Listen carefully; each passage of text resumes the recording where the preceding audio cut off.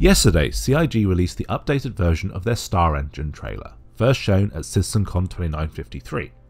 I've uploaded a side-by-side comparison with no commentary if you want to watch the whole thing without me talking over it. In this video, I'm going to recap some of the changes to look out for.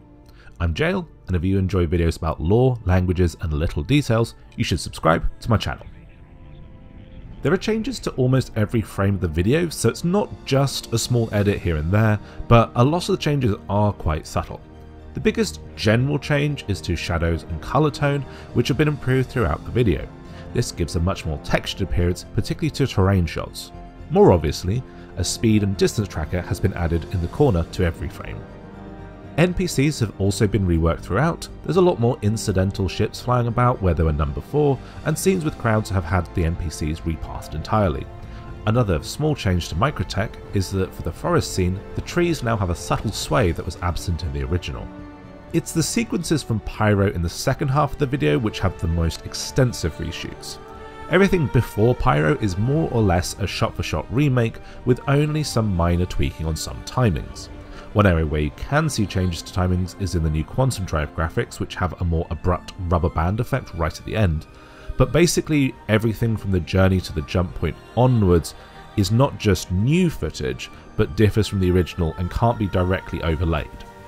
For the Pyro stations, this is mostly just a slight repathing of the camera, alterations to NPCs, and a bit more of an atmospheric fly on the wall style for the tattoo sequence. Moving down to the surface of Bloom though, Pyro 3, we have an extensively reworked Reclaim a Fire sequence, with NPCs now behaving a bit more sensibly, and altered smoke effects. On the planet's surface, the aforementioned tweaks to shadows and shading make Pyro 3 look much more attractive, and also the mist and haze has been dialed back which really helps the colour. We finally get into really significant changes when we reach the tech demos right at the end of the video.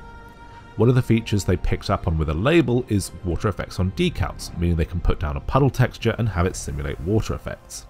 But the original video didn't really show that feature in its best light. Now the Gladius has a really clear puddle underneath it when it takes off, which ripples and reacts, and that's the point of that feature. A lot of the lake water effects haven't changed as much, but we do see two very important additions. Firstly, upon approaching the air, the texture of the lake is visible from afar when before it was flat and only gained texture when closer up.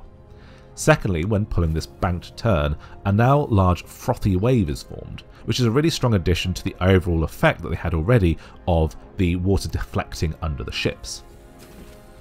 For the Maelstrom demo, lighting has been added to accentuate the target objects against the background, bringing it more in line with the Maelstrom tech presentation at CitizenCon. The Gladius crash also uses a much more advanced demo of the tech.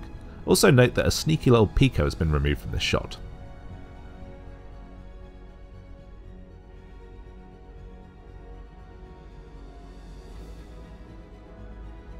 Final shot on the NPC has been altered to more extensively showcase Starcloth, and we also find the one obvious removal of the video.